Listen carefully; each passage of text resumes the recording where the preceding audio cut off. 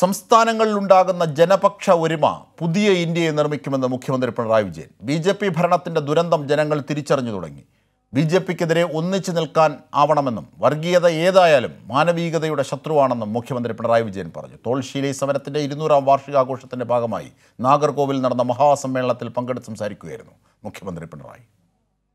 ഭാഷാ സംരക്ഷണം മുതൽ ഫെഡറൽ ഘടനയുടെ സംരക്ഷണം വരെ ഇന്നത്തെ ഇന്ത്യയിൽ സംസ്ഥാനങ്ങൾ അനുഭവിച്ചുകൊണ്ടിരിക്കുന്ന കാര്യങ്ങൾ.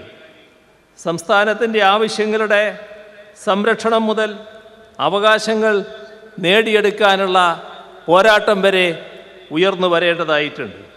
ഇതിലൊക്കെ നല്ല രീതിയിൽ നമുക്ക് ഒന്നിച്ചു നിൽക്കാനാവണം. ഇതിന് ഇതിനോടൊപ്പം നിൽക്കാൻ തയ്യാറുള്ള പാർട്ടികൾ വിവിധ സംസ്ഥാനങ്ങളിലുണ്ട്. ജനങ്ങൾ ആ രീതിയിലാണ് ചിന്തിക്കുന്നത്. അത്തരമൊരു പുതിയ കാലത്തിന്റെ പറവയിലേക്കാണ് നാം സഞ്ചരിക്കുന്നത്.